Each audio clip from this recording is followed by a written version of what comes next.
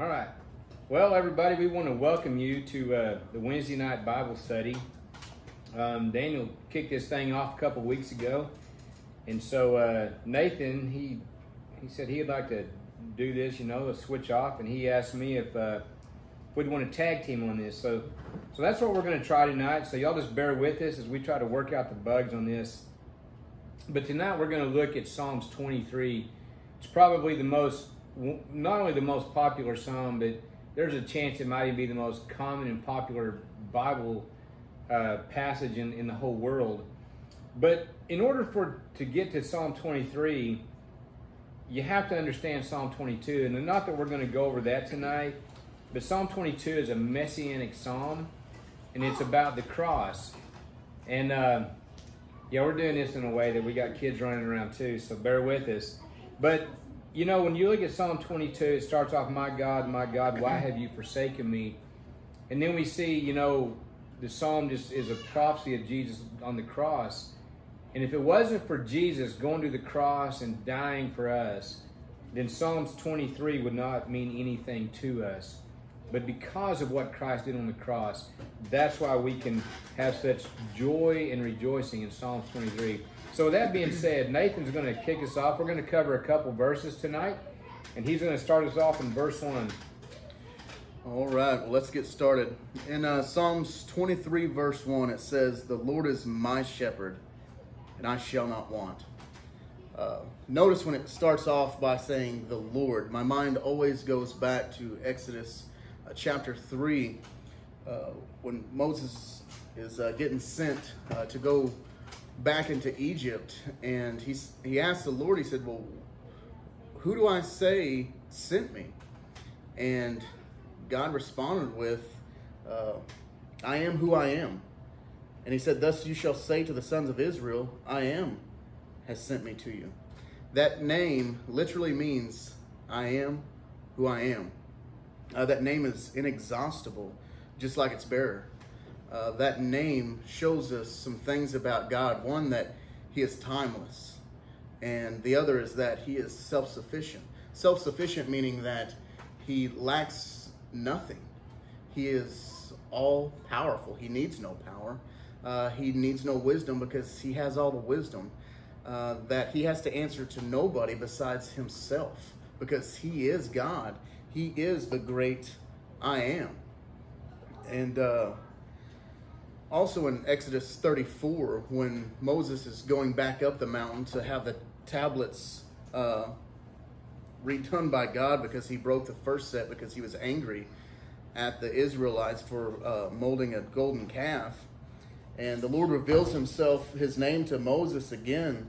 And it says that then the Lord passed in front of him and proclaimed, The Lord, the Lord God, compassionate and gracious, slow to anger, abounding in loving kindness and truth who keeps his loving kindness for thousands and forgives iniquity, transgressions, and sin. Yet he will by no means leave the guilty unpunished, visiting the iniquity of the fathers on the children and on the grandchildren to the third and fourth generations. And Moses made haste to bow down low towards the earth and worship. So we see that the Lord is merciful. We see that He's gracious, and we see that He's abounding in loving kindness. Uh, but at the same time, it says that He will not clear the guilty. Uh, because we know that God is a holy God and that He is a just God, that He must punish sin. And uh, so when we look at this, knowing that Christ died for His sheep, and we see David declaring that the Lord is my shepherd, he's speaking as one who is identifying with the Lord, one who knows his shepherd's voice and follows him, which is exactly what John 10 27 says. It says, My sheep hear my voice, and I know them, and they follow me. So we see that a shepherd's voice is distinct to the sheep. Uh, the sheep won't hear another voice. Uh, if I was to go into a shepherd's field and I called out to the sheep, the sheep simply would not come because it was not a voice of the shepherd. It was a voice that could bring uh, destruction. It could be a voice of a thief who comes to steal, kill, and destroy. Uh, they would know that it's not a voice of one that protects and cares for the sheep. So the sheep will just not pay heed to the voice, but when the true shepherd calls out the sheep by name, the sheep respond and they come. Just as we, when the Lord called us to faith and repentance, we came. When uh, He grabbed our heart of stones, turned it to a heart of flesh, and uh, made us alive in Christ, we responded in faith and repentance. So we see that these sheep, they need a shepherd.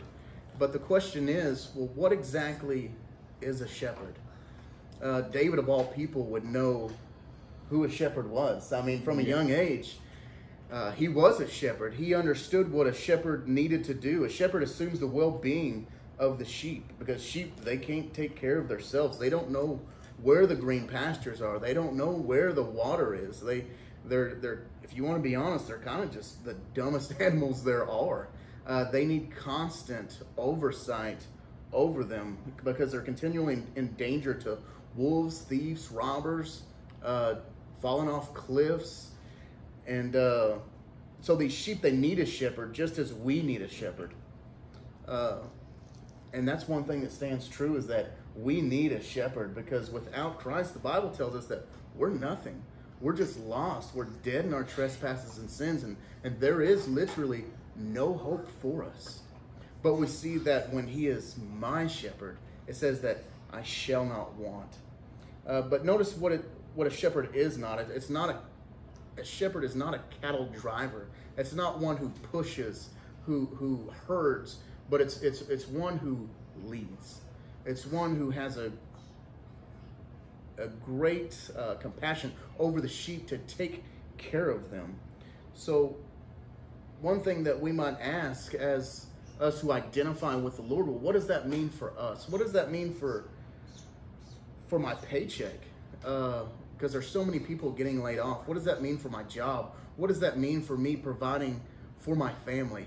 Uh, but remember, the Lord is our shepherd, so we know that He is leading us, that He is guiding us, that He is protecting us, and that He will provide for us.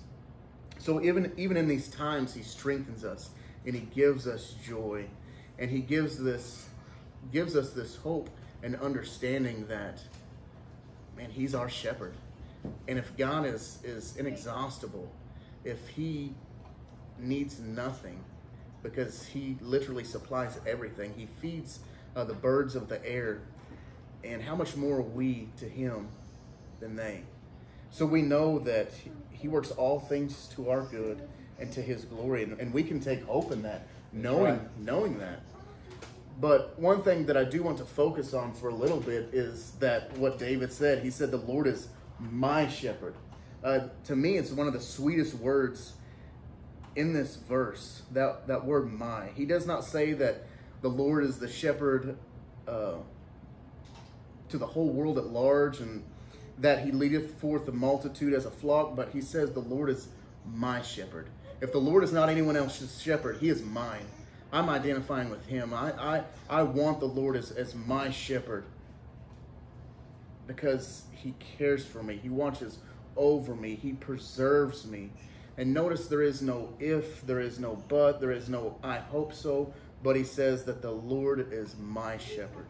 He has full dependence on the Lord as his shepherd. So, one question that I would like to pose for you who are listening is can you say that? Can you say without a shadow of a doubt that the Lord is my shepherd? And what that means is, is have you surrendered your life and everything that you are to Him, that you entrusted your soul to the Lord Jesus Christ?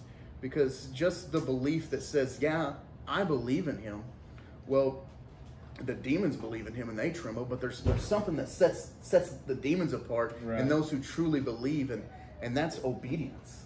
Uh, not that salvation is built upon our works, but because of our salvation, we will have works and we will have obedience for what Christ has done for us. So the Bible does tell us that we need to test ourselves and know that we are in the faith. And a few places that we can go to do this is in First John. Uh, in 1 John 1 6, it says, If we say we have fellowship with him, but walk in darkness, we lie and do not practice the truth. in verse 8, it says, if we say we have no sin, we are deceiving ourselves and the truth is not in us. So we must know right off the bat that we are sinners, that all have sinned and fallen short of the glory of God. And you must realize that that about you. And in 1 John 2 4, it says, The one who says that I have come to know him and does not keep his commands is a liar, and the truth is not in him. You see, you, you can't identify with the shepherd, but then go do everything opposite of what he tells you to do. That Jesus said, If you love me, you will obey my commands. And that's what this verse is, is laying out there to us. And then finally in 1 John 3 9, it says, No one born of God practices sin because his seed abides in him, and he cannot sin because he is born of God. Now, one thing that I do want to point out is that this does not mean that we're not going to sin. I want, I want to point out that it says uh, no one born of God practices sin. That's yeah. why there's no such thing as a. Uh, it's not a continual habit. Yeah, it's not yeah. a continual habit. There's there's no uh, drug addict Christian or no homosexual Christian. There's there's any implant any habitual addiction to this sin that you will not give up because God is a good father. And he says that he disciplines his children and he will lead you back into paths of righteousness. He will bring you back through repentance and he disciplines his children. And that's why it says that you cannot. That word cannot is one of ability. You do not have the ability to do this because God is a good father and he does discipline his children when we when we wander off and screw up. Now there might be times that we're down in the dredges really screwing up and sometimes we can take it kind of far, to be honest. But then the Lord, He, he grabs you and He convicts you because you're His. And we know that He takes care of His sheep, He tends His sheep, and He feeds His sheep. So my question is, is, is this you? Can you say without a shadow of a doubt that the Lord is my shepherd? And, and one thing I would like to point out is in the bigger picture of all of this. As we was praying before we we started, you know, uh, the Lord simply could have shut down the whole world so that someone could hear this message, so that someone could hear and believe in the gospel. As Jesus said when he entered his ministry in Matthew chapter 1 verse 15, he said, "The time is fulfilled and the kingdom of God is at hand. Repent and believe in the gospel." Uh, what do you think that means, Ronnie, when he when he says that? Repent and believe in the gospel. Will you kind of give us a, a rundown on what he meant right there? Well, the command to repent is that when God opens your eyes and you're able to see what your life is outside of Him, meaning you're a sinner, and even if you don't see it completely, you understand where you're headed. He's saying, turn around. You're, it's changing of your mind and you're coming into agreement with God and what God has said about you. So you turn around, and then what you're doing is when it says to believe, you're, you're, you're putting your faith, you're trusting in Christ in what He did. And then, you know, even like what we're talking about tonight, the Lord is my shepherd. When that takes place, and we repent, we turn from our sins, and we turn to Christ, that's when He becomes our shepherd. When that work of regeneration happens in our hearts. So that's I mean, that's just a short answer, but that's really what happens when uh, when that command comes: repent and believe. So yeah, and you know, and for those who who who do believe in Christ that He had came into this world, lived the perfect life, did all the works that we could not do. He received the punishment that we deserved for our sins. That He died upon the cross. That He was buried, and three days later rose again. Those who who believe that are what the Bible declares those who are saved. But that belief, like I said earlier, is not a belief of just simple simple head knowledge, you know, because like I said, the demons believe, but but that belief will really show in your life. You will see a life of obedience. You will see a life of sanctification. Now I know not everyone starts off just a full blown Christian, right? Who, who uh, knows everything. Uh, a lot of times, it's just a yeah. lot of repenting. And even even in the uh, the life of sanctification and obedience, it's not a perfect obedience. It's not a perfect repentance. So that's one thing you want to remember is that it's where your your your desire is to pursue Christ, and in that we're going to we're going to come short. I'm not trying to give a license to sin or say it's okay, but just know that we're not looking at a perfect repentance or a perfect obedience in the sense that we'll never sin. But even when we do, it's our desire to turn away from that sin, confess it, and to pursue Christ. So, so then, one thing at the end of this verse uh, that is that is great. That's a promise to Christians. I want to point that out. It's it's it's for for the believers, and he Amen. says, "The Lord is my shepherd; I shall not want." Uh, in Isaiah forty six ten, it says, "Declaring the end from the beginning." From ancient times, things which have not been done, saying, My purpose will be established and I will accomplish all my good pleasures. We have this assurance that God is in control of all things, that God is completely sovereign in everything. So, as, as Christians, we can take comfort in this. We can take comfort in knowing uh, the things that God has declared, that He works all things to our good and for His glory. Uh, but I want you to know, too, that sometimes what we perceive as good. Uh, a lot of times doesn't look like that. You know, you know, uh, we go through trials, we go through tribulations, we go through heartache, but we know that God works all those things for good and to our glory, to His glory, not to our glory. Uh, he works it for our good and His glory, and that's just something that we can take comfort in, in knowing that we shall not want. And one thing that uh, John Calvin said, he he said we must not forget that our greatest happiness is to have God's guiding hand stretched out over us, to live under its shadow so that his providence may watch over our safety. Yeah. Uh, one more thing is J- James Montgomery Boice said, But if we belong to the one who is self sufficient, inexhaustible, and utterly unchanged by time, we lack nothing. He is sufficient for all things, and he will provide for us those are things that we can take comfort in, in knowing that Christ is our shepherd. When we say that the Lord is my shepherd, I shall not want. Now, uh, Ronnie, you're going to go into verse 2 and, and kind of lay out some things, what, what, what that looks like, and, and how he makes us lie, lie down in green, green pastures. Yeah. If you want to take over and lead us through that. Yep, you bet. Okay, so I'm going to read just verse 2 is short, and I'm going to read it and then we'll look into it. He said, He makes me lie down in green pastures, and He leads me beside quiet waters. Or if you're reading a King James or New King James, He leads me beside still waters.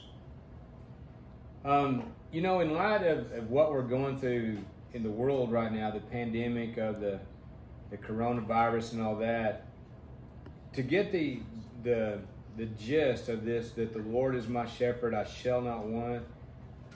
And then he says, He makes me lie down in green pastures. You know, one of the things that we need to understand is this. Um, this this this verse two is broke up into two things. The first part is when it says he makes me lie down, he is leading us to to have rest. And that rest is to have a rest, a, a contentment, a peace in our shepherd. Now, in order for for sheep, for them to uh, to be able to lie down, it takes four things. Four conditions need to be met for sheep to lie down. And this is these are the four things. One is they have to be free from fear or anxiety. You know, that's something that we deal with right now. In, in this coronavirus, uh, you know, three, four weeks ago, they said, well, it's going to be a couple weeks. And man, there was so much you know, people just running around, and I mean, and it affected all of us to a certain degree, you know, one or another. But, but for for His people, His sheep, to be able to lie down, we have to be free from that. Okay, so the second one is this: we have to be free from strife, and and I'm just going to say this, Christians, listen. Even as this is going on, there's been a lot of strife between believers in how to handle this on things uh, just pertaining to you know church services and things like that. How you know should we have church? Should we not? Listen for god's people to be able to to have that peace and just to be able to to rest and reflect in him we have to be free of that the third one is this we have to be free from hunger. If sheep are hungry, they cannot relax. And so the only place that we're going to be fed is in God's Word. We have to be in the Word of God. So, church, listen, as, as we're going through this time right now, are you in God's Word? I mean, are you free from that hunger? I'm not talking about a physical hunger, but I'm talking about that, that we're, we're hungering and we're thirsting for righteousness. Another way of saying that would be to hunger and thirst for Jesus Himself. And where are you going to find that? You're going to find it in the Word of God. And then the last thing is this we have to be free from like flies or, or pests or gnats. Sheep, they would get a lot of moisture around their nose and their eyes and stuff. And I know this much. I, I did a job years ago and I was working by a river and I was about 18 years old. And early in the morning, gnats would just be all over my face. It will drive you absolutely insane. And that's the way sheep are. These things will just be all around them and they cannot relax. So what happens is our shepherd comes along and to free us from this fear and this anxiety, we have to have this sense that because he is in our midst, this shepherd is in our midst, talking about Jesus, that we don't we don't have that fear. We don't have that anxiety of predators and things because we are resting in Christ. And so, you know, in that strife amongst one another, listen, church, um, it could be in your marriages, it could be just amongst one another in a, in a local assembly. But picture this picture if Jesus was physically standing in your midst, I suspect that all that strife would leave. And that's what we have to do. We have to get ourselves to a place like that. And again, he feeds us in his word, but we have to actually pick the, the Bible up and, and to read it and to, to pour ourselves into it. And so, you know, our and oh, and, and one thing about this when he about this free from uh, the pest and the things that would be, you know, and what that does that affects your mind. But a shepherd would take a balm and he would rub it on their nose and around their eyes, and it was like you know, it was like some powerful like off or something like that, and it would keep those from them. And so when that would happen, they were able to to lie down in peace. Now, one thing about this, when it starts off, it says, "He makes me lie down." And so what we see is this is the active presence of the shepherd. It's it's the shepherd doing what he does in our life that he is the cause of, of why we're able to lie down. And so, what this is, it's speaking of when the sheep have been fed, they're free of threat of predators and pests and hunger. Now, Nathan, I don't know how you are, but when when you feel these things, it's hard to relax, isn't it? Yeah. I mean, and let's be honest, when when we feel, uh, you know, like, and these pests and stuff would be the things like, you know, we can be watching the news at night. Every night it's changing if we're letting that be what comes into our minds and we're not focusing on the shepherd, there's no way you'll have any any rest. You will be doing exactly what you're not supposed to be. Where you know in, in Philippians four, he says, "Be anxious for nothing." He's saying, "Don't worry about anything, but by prayer and supplication with thanksgiving, let your request be made known to God." Christian, listen, are you doing that in this time that we're living in? And so, in order for you to be able to just rest in the Lord, that has to happen. And also, um, when we're talking about this, just remember this: that this is a it's a resting in the presence of the shepherd. And I've said that several times. I'm just going off my notes. You ought to see my notes. These are mine, chicken scratch, compared to Nathan's. Man, all typed and neat looking. So maybe some people I'll, are better prepared for stuff. I'll make him. Other people wing it. Yeah, I, I'm kind of a wing it kind of guy. So uh, now you know the secret's out. So, okay, so look, when he talks about green pastures, he's talking about pastures of, of tender grass. That's what that literally means. And so this is this isn't like a mature field. It's like a young. It's like a young. Uh, I don't know if I'm probably putting the words right, but it's like fresh grass. And these pastures, listen, they're always rich in nutrients. They're always plentiful, they're always good, and you can never exhaust them. Now, that is where every Christian wants to be. We want to be resting in the Lord. Now, let me say this this can happen even in the midst of a trial.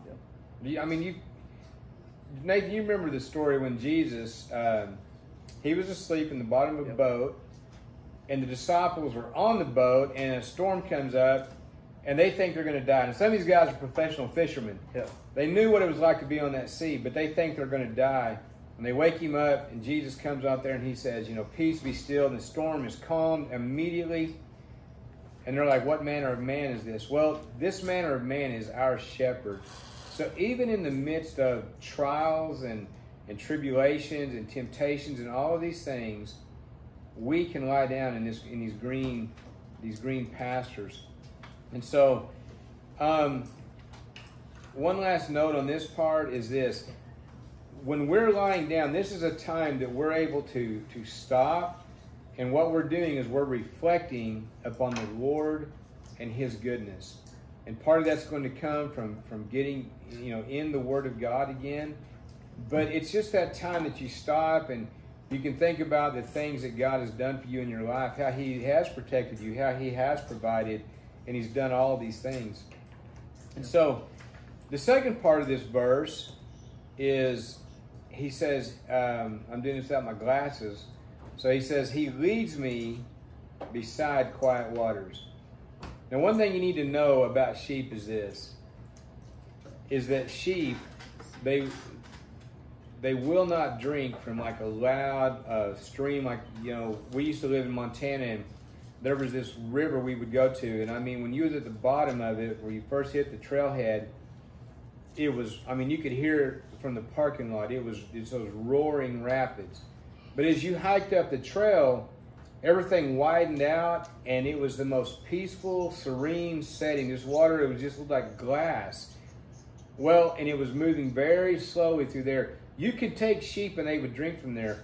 But not only is it speaking of, of quiet and still waters, but um, but it was talking about deep and clear and clean water too. So that's one thing about that. Now, what this is really speaking of is this this is the Holy Spirit refreshing us and causing us to drink deeply. And so I want to do something real quick, and uh, I want to contrast that briefly with Jeremiah 2.13, where he says this.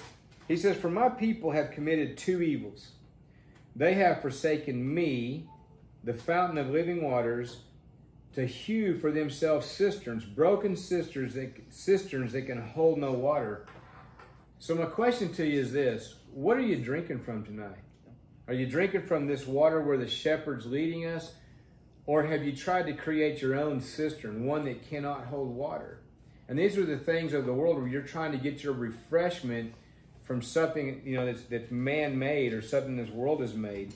So it's only going to come when we are are you know following the shepherd in this life. I think that's one good thing to point out there is, you know, the Lord is is always leading in paths of righteousness. That's what verse 3 says, is that he guides me in, in paths of righteousness. But it always comes down to, are you following? Are you following? Yeah, that's that's where it's really going to come down to. So you know, this 23rd Psalm is not just a psalm that you know it's for a plaque on your wall. This is this is such a uh, it's not only a promise, but it's something that we can treasure in the sense that, just like you said, and I love how you brought that out. The Lord is my shepherd, my shepherd. He's not just a shepherd. He's not just got some sheep, but he is mine. That's personal. That's intimate. And he says, "I shall not want." Um, you know, one thing in there is that we have no desire for other things besides the shepherd. And so this shepherd, I'll just bring this kind of like this. He makes us lie down in green pastures. He's the one that does this. He's the one that leads us. So the you know the first point was he makes us stop, and now he's also the one that leads us. So that being said, we've taken up probably more than enough time tonight.